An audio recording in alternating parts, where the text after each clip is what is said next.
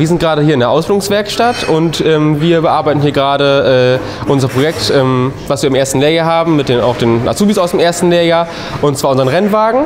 Es ist in den letzten Zügen und ähm, die Azubis sind dabei, alles fertigzustellen. Das Konzept ist quasi einmal alles ganz anders, wie es vorher war. Vorher gab es feste Lehrgänge, in denen das Schweißen und das Zersparen, was das Drehen und Fräsen beinhaltet, gelernt äh, wurde und wo dann auch bearbeitet wurde, die fertigen Teile ähm, herzustellen. Und jetzt ist es halt völlig anders. Wir haben jetzt ähm, keine festen Lehrgänge mehr, sondern nur noch eine Woche in der Zerspannung und eine Woche in der Schweißerei, wo wir Sicherheitsunterweisung bekommen und die Grundzüge kennenlernen. Die komplette, äh, kompletten Teile dafür müssen wir uns selber, selber herstellen und selber einteilen, wo und wann wir diese herstellen. Der Zerspannung werden alle Teile hergestellt, die an der Fräse oder an der Drehbank hergestellt werden. Ähm, ein großer Unterschied zu der Zerspannung, ich sag mal, der Werkstatt ist, hier arbeiten wir mit handgeführtem Werkzeug. Hier kommt es auf eine gewisse Fertigkeit drauf an, mit dem Werkzeug richtig umzugehen. Bei der Zerspannung ist es so, dass man mit der Maschine richtig umgehen muss. Das heißt, ich muss, bevor ich mache, etwas überlegen, weil die Maschine macht es richtig, aber ich muss die Maschine richtig bedienen und über die richtigen Achsen verfahren. Und das ist halt etwas, wo man sehr konzentriert arbeiten muss, damit man dort auch dann keine Fehler macht, die nachher das Bauteil äh, ja, falsch entstehen lassen. Positiv ist für mich sehr, diesen Verlauf zu beobachten des Konzepts. Es gab gerade zu Anfang, wo wir zum Beispiel unser U-Stall gefeilt haben, äh, auch Phasen, wo es gar keine Frage sehr zäh war, wo man nicht viel vom Entstehungsplatz gesehen hat.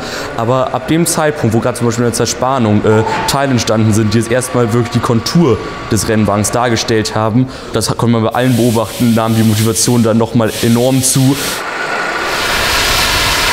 Also in der Schweißerei haben wir die Grundplatte für unser Formel 1 Auto erstellt.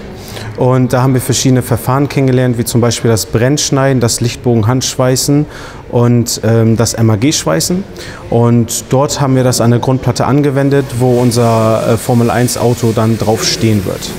Am meisten Spaß gemacht hat mir das äh, selbstständige Arbeiten, weil wir komplett freie Raum hatten, wo wir hinwollen und ich würde das jedem weiterempfehlen. Zur Digitalisierung haben wir dieses Jahr ähm, ein Tablet bekommen, wo wir mit arbeiten. Da schreiben wir zum Beispiel über ein neues System Blog unsere Berichtshefte. Dort arbeiten wir mit unserem internen äh, 365 Office-Programm, wo wir das Programm Teams und Outlook verfahren und ähm, haben eine Excel-Tabelle, wo wir halt uns eintragen wollen, ob wir in die Zerspannung, in die Schweißerei oder in die Werkstatt gehen wollen.